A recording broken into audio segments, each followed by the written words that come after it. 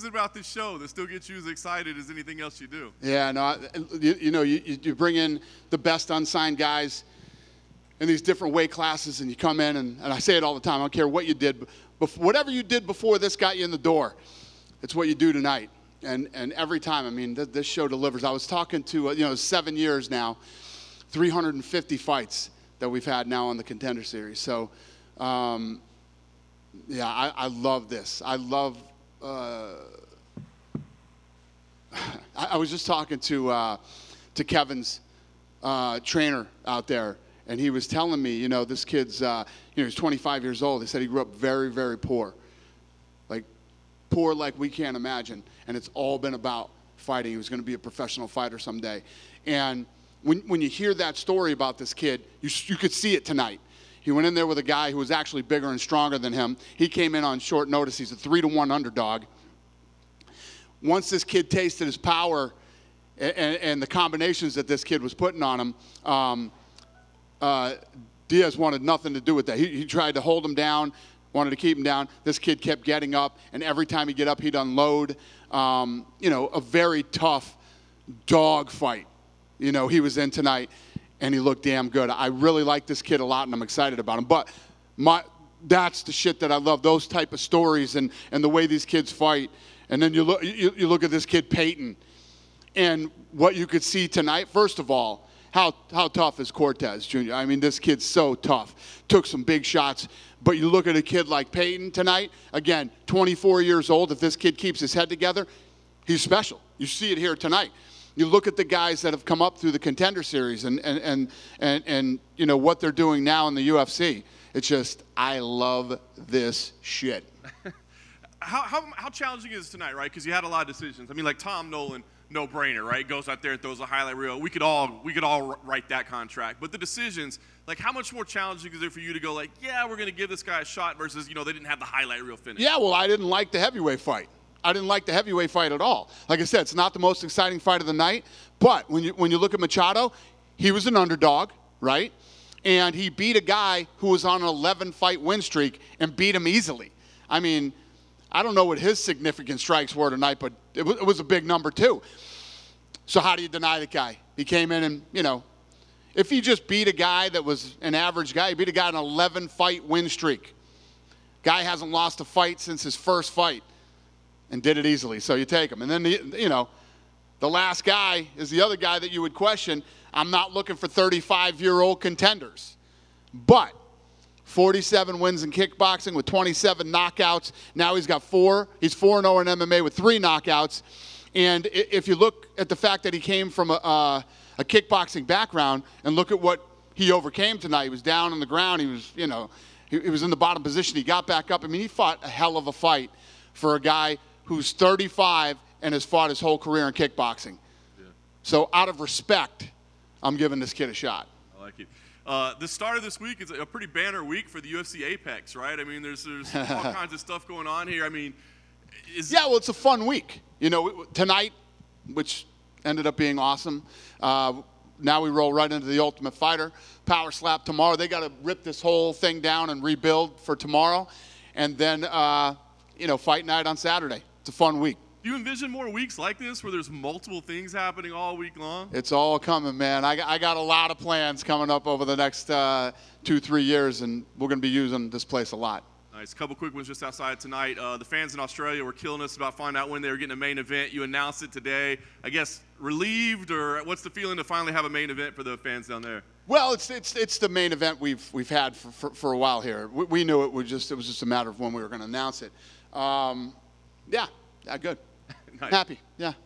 Last week for me, I did want to ask you talked about the Ultimate Fighter wrapping up. Any updates on Conor McGregor, his situation? There seems to be all this discussion like, is this fight between him and Chandler going to happen? Are there different yeah. directions? I talked to Conor, uh, it was either yesterday or the day before. And uh, yeah, he, he's ready to fight. You know, just I said, listen, get in shape and let's figure this out. Is it still definitely Chandler? Yeah, yeah, yeah, yeah. He's fighting Chandler. Conor likes to fuck with everybody, you know what I mean? Especially as opponent or possible opponents. Yeah. Uh, tonight, I thought Tom Nolan was a standout. Right, you know, he came in there massive lightweight, had great hands, and he was pissed off at the guy, and you could see it. I'm curious what you thought about his performance. Yeah, think about that, right? So he is six foot three, 155 pounds. You know, he's a, he's a monster. Obviously, he's, he, he's, uh, he can strike, he's powerful. He's going to be fun to watch. Again, another kid. You keep your head together, you, you do the right things, bright future ahead of him. We've seen that before, right? I think that's probably one of the most underrated things about being a professional fighter and you get to this stage. If you're a young guy and you find success early, it can be tricky to keep your head together. Is that something 100%. that you try and tell them early on, like, hey, guys, don't fuck it up, basically? It's the hardest thing to do. Um, I was just watching this, this uh, clip of Muhammad Ali the other day on Instagram, and he was being interviewed, and they were asking him, what's the toughest part of, of, uh, being a fighter? Is it, is it the training? Is it the this? Is it the that? And Muhammad Ali says, it's the women and the partying. He says, you know, when everybody's out having fun and, you know, living, living it up, I, I'm, I'm going to bed at 9 o'clock and waking up and training the next day. It's the truth. It's, it's, if, if you can keep your head together and, you know, as, as you start, some people deal with fame really well, and some people deal with it the exact opposite. So if you can keep your head together and, and, and stay focused with the amount of talent that we see on this show, who knows what the possibilities are. You guys offer them the PI, right? And nutrition and everything. Is that something you ever think about maybe offering them like therapists to help them with fame or anything? Is that something you see the UFC offering guys? Yeah, I, I mean, I guess if somebody really needed it, we would. It's, it's just, I, I don't think it's one of those things that you can, you either can or you can't. You know what I mean? I mean, how many, how many fighters do we have under contract now? 656 guys going to go through therapy and girls go through therapy. I mean, to deal with fame, uh, it's just, it's not a reality. But um, you can either do it or you can't outside of this one, I was with Nate Diaz last week, and he was very complimentary about the UFC. He said he missed the UFC. I know that he said he wants to come back. Is that something that you reach out to him, or do you wait and see if he reaches out to you? Well, we, we feel the same way about Nate, you know, always have. You know, I've always joked around about dealing with the Diaz brothers, but, um, you know, th- th- these two, you see it now. I mean, th- they're two iconic fighters that 20 years from now, everybody will remember and, and, and talk about. And, you know, um, this will always be Nate's house, you know. Nate, Nate, grew up here. He came in on The Ultimate Fighter. You know, he fought some of the biggest fights ever here. And, yeah, we, we love the kid. I, I don't know about fighting in the future, but this is always going to be his house. And, you know, we'll see. Did you enjoy his guillotine that he got in the 10th round? Did I what? Did you enjoy his guillotine that he got on Jake? I saw it on the internet, yeah. you know, um, for, for, for a kid pushing 40 years old, fighting a guy four weight classes bigger than him in boxing and two in MMA, and going the distance. You know what I mean? At his age against a fucking 20 something year old kid. He, so far, he, he's, he's, he's fared the best, you know, out of everybody. He, he looked good. I'm happy for him. And last one for me, after a night like tonight, I know that this is probably one of your favourite things you do, the contender series, but after tonight, you see the fights that you have. How excited are you for the next nine weeks? Yeah, I mean, I, I, I don't know how many more times I can say it or how many different ways I can say it. I, I love this show. I love coming over here on Tuesdays. I love walking in with a clean slate and not knowing anything about anybody and watching what they do. You know, I, I fucking love this show. I love the show. That's all I can say. I mean, I don't, I don't know how many different ways I can say it. I love it. Over here. Yeah. Oh. So uh, you seem pretty adamant about Payton Talbott. Um, I saw that you stopped him after he'd won his fight when he was going to the back. What words did you tell him? Yeah, I was telling him that, that he broke the record for significant strikes in that weight class. And uh, yeah, that was it. Does he remind you of another tall bantamweight fighter that came through the contender series one day? Ask me that again. Does he remind you of another tall bantamweight fighter that yeah, won yeah. the contender series? Yeah, well, I mean, the, the, the, way that that kid fought tonight, I mean, um, he's only 23 years old. He looked like a straight killer tonight. I mean, you, when you talk about what I'm looking for, uh, you know, on nights like tonight, you couldn't perform better and you couldn't pull it off better than he did tonight. He, he looked incredible. Hey, Dana. Yep. Um, someone with, with, with Cesar Almeida, right? You said he's 35 years old, but he's had this big kickboxing history what do you do with him? Like, do you is that is he someone like Alex Pereira where you kind of rush him because I mean he's fought Alex, right? So like, what do you do with him? Here's the thing about him. He was in some bad positions tonight that a guy with, you know, 50 something kickboxing fights you'd think would be in big trouble. Totally composed, like a vet and a pro. Took his time, worked his way out of positions, never freaked out, never panicked. Uh, I think he's a guy, first of all, he's not a guy, you know, at his age that you sit on and try to, you know, move around. You, you, you bring him in and, and you, you throw him in there. He, has got the experience. He looked damn well rounded tonight to me. We'll see what he's got when he gets in the UFC. But uh, like I said, this is a guy, I'm not looking for 35 year old contenders, but you have to respect the man, uh, his, his, resume, and what he did here tonight. So he's going to get a shot. Um, we haven't talked to you since UFC 291. Uh, what were your thoughts on Poirier versus Gaethje 2 and then Alex Pereira's win? Um, yeah, obviously, I mean, uh, Poirier Gaethje 2 was awesome. I mean, the, the, the fight was awesome and the, uh, the card was incredible.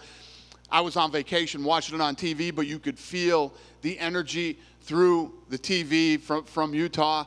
And, you know, things that I look at, for obviously, our production was flawless that night. The show was incredible. And uh, the fighters all went out. When we do what we do best and they do what they do best, you pull off a perfect event like Utah was. Um, is Gaethje probably next in line? And I, I have, I, I, don't even. Is Alex Pereira next in line for the vacant title? We'll see. We'll announce. We'll announce soon here. What's what's next? Um, Wonder Boy said that he wasn't paid for uh, for for showing up. Is that something new in the contracts where like you don't have to make weight and, get your show money, or he, also said that he didn't talk to you yet. So right. So how that works is guys don't just get paid to not fight. It's not how that works. Guys have been paid. We've taken care of guys. Listen, if you come in and you're making short money, we take care of. You come in and you don't fight. First of all, you, you decided not to fight. The guy was three pounds overweight, whatever it was. You get a piece of his purse if you take the fight. But if you, deter, you decide you don't want to take the fight, we also offered him another fight. You know, there's a much bigger story behind the scenes.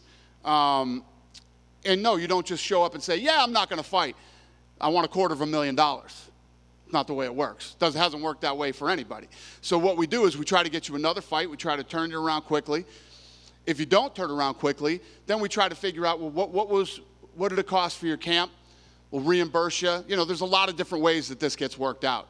You don't just go, yeah, this guy's three pounds over, I'm not going to fight, and no, I won't take another fight two weeks later and pay me my show money. Not how it works. You don't fight, you don't get paid uh, necessarily in the contract. But we always make sure that we take care of everybody, and you know, uh, we're working it out with Wonder Boy right now. It's all being worked out uh, behind the scenes, and this should all be worked out by Saturday. Gotcha. Um, and then finally, there was a COSM um, event in Utah, the big big show. I think it's COSM. I, I might be. Um, is I mean, is that the future of fighting? Um, obviously, you weren't there, but you did a little pre-package and kind of in- introduced it. Um, to what? What are we talking about? The, the COSM. Oh yeah yeah yeah yeah. Did you guys go to that? Yes. How badass is that? So they came and filmed at, at one of the. I saw other events. I haven't seen our event in COSM yet. I saw like a soccer game and a basketball game and things like that. But yeah, yeah, I, I think that if you can't get out to a live event and that's in your hometown, yeah, COSM is the way to go. You go in there with some friends and, and, uh, and, and watch it live. And that, I think, is an incredible experience. Yeah. Um, I mean, is, is that going to be something that, that you're going to try and put on? Um, I guess. Well, yeah, we have a deal with them. So, yeah, we, we've, we have a deal. And, uh, you know, I don't know how fast those places are going to pop up or where they're going to be or any of that stuff. But it, it's a hell of an experience. Is that a, hint that there might be fights at the MSG Sphere? Um, well, I, I, listen, we're, we're, we're, we're in a deal right now with MGM, but yeah, I, the, I haven't seen the inside of the Sphere yet, but the outside is, you know, all the hype that, that everybody was talking about that place. I think that they actually over delivered on, you know, you don't want to oversell anything, there's no way to oversell the sphere. It, it's one of the coolest fucking things that I've ever seen. And uh, I was landing the other day from being out of town, and that thing was lit up. It's unbelievably impressive. Thanks, Dana. Yeah. Good? Thank you, guys.